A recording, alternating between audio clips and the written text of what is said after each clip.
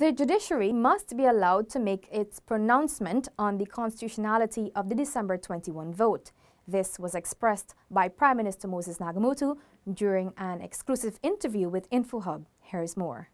I believe that we should allow the judiciary to make its pronouncements and uh, not try to, to influence the direction in which that will, will go and to abide by the consequences of, of the rulings. The Prime Minister explained we should have respect for the independence of the judiciary and respect for all the hierarchical structure of the judiciary.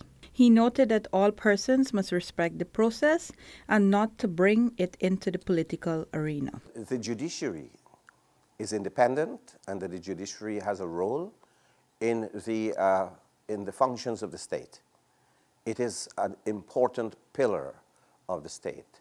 And so uh, rather than people trying to question whether the judicial process is important or not, we should have respect for the independence of the judiciary and respect for the uh, all the hierarchical structure of the judiciary. Following the December 21 vote, the Supreme Court has been approached to determine whether the former government Member of Parliament, Charrandass Persaud, was qualified to vote in the National Assembly.